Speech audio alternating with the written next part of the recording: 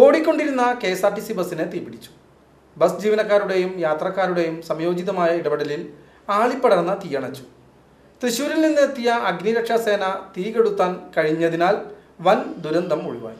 ഞായറാഴ്ച പകൽ പതിനൊന്ന് മണിക്ക് പുഴക്കിലായിരുന്നു സംഭവം. നിലമ്പൂരിൽ നിന്ന് കുന്നംകുളം വഴി കോട്ടയത്തേക്ക് പോയിരുന്ന K S R T C super fast ബസ്സിനാണ് തീപിടിച്ചത്. ബസ്സിലെ സ്വിച്ച് ബോർഡും എഞ്ചിന്റെ ഭാഗവും ഡ്രൈവർ സീറ്റും തീയിൽ കത്തി നശിച്ചു.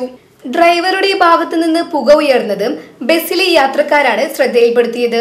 ഉടൻ ഡ്രൈവർ ബസ് നിർത്തി പരിശോധിച്ചപ്പോൾ എഞ്ചിന്റെ അടിയിൽ തീ പടർന്നതും ചൂടോടുകൂടി പുക ഉയർന്നതും കണ്ടെത്തി. ബസ്സിനുള്ളിലേക്ക് പുക പടർന്നപ്പോൾ ഡ്രൈവർ സജീവും കണ്ടക്ടർ നൌഷാദും ചേർന്ന് ബസ്സിലുണ്ടായിരുന്ന മുപ്പത് യാത്രക്കാരെ പുറത്തിറക്കുകയായിരുന്നു.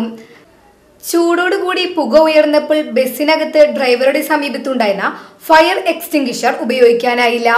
സമീപത്ത് പെട്രോൾ പമ്പുള്ള വിവരം യാത്രക്കാർ ധരിപ്പിച്ചപ്പോൾ ബസ് ഡ്രൈവർ നാട്ടുകാരോട് ബസ്സിന് തീപിടിച്ച വിവരം അറിയിക്കുകയായിരുന്നു.